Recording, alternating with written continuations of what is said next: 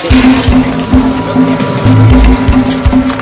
hari pertama kerja sebagai Gubernur DKI Jakarta, Jokowi Dodo atau Jokowi berusaha memperlihatkan citra merakyat yang didengung-dengungkan selama ini. Ketika melakukan kunjungan kerja di beberapa wilayah Jakarta, Selasa 16 Oktober ini, Jokowi membuktikan komitmennya untuk tidak menggunakan pengawalan for rider dan prosedur pengamanan lain yang berlebihan.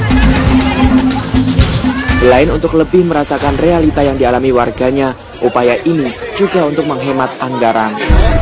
Sekedar perbandingan, Anggaran untuk pengamanan serta pengawalan dengan Forrider tahun 2012 mencapai 612 juta rupiah. Padahal kebutuhan anggaran untuk beberapa masalah lain di ibu kota masih banyak.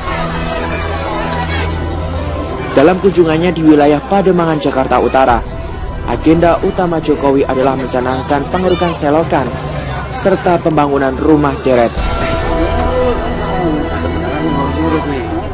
Belum, kita ini baru ingin melihat di sini tanahnya tanahnya siapa, rumahnya seperti ini harus diapain, sehingga kita dengan Pak Wali Kota, dengan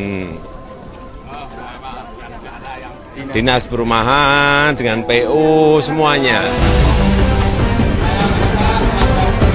Ya, Jakarta butuh pemimpin yang mengerti kebutuhan masyarakatnya Kepekaan dalam memandang masalah serta mencari solusi yang tepat adalah syarat mutlak untuk menjadi pemimpin di kota yang dirundung masalah berlapis dan multi aspek ini.